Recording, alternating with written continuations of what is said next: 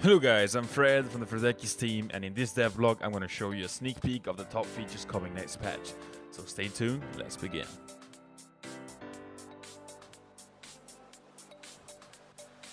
Starting off with the menu redesign, we have given the game a cleaner look with dynamic backgrounds that change depending on the game mode that you select. Um, this small update also includes some small changes across the UI and stuff.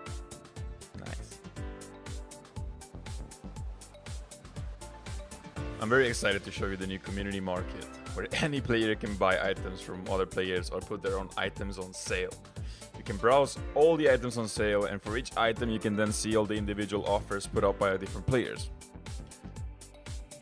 When selling an item, you'll expect to pay a small percentage fee applied to the total price, which is like the individual price multiplied by the amount sold. Once the item is put for sale, it will immediately be removed from your inventory, but if nobody has bought it yet or if the time expires, you can always claim it back.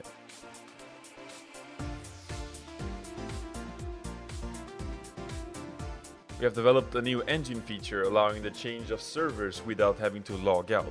It's especially useful for Battle Royale as you won't need to load the whole map again in order to join a new match.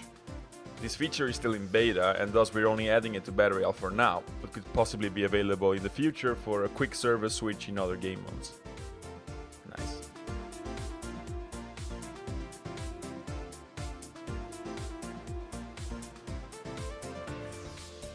PvP players have been requesting their stats to be added to the seasonal, monthly and weekly leaderboards for a while, so we created a new leaderboard specific to the stats obtained in PvP servers.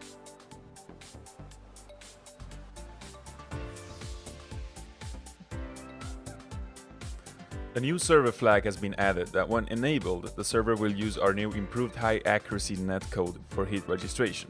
This new system works together with the server's real-time data in order to detect when a player with a high ping shoots you and gets the hit on you even though you're behind cover already. The new system will initially only be tested in maybe some PvP servers and when it's ready we might roll it out in some desired official servers and also available as an option for private or event servers.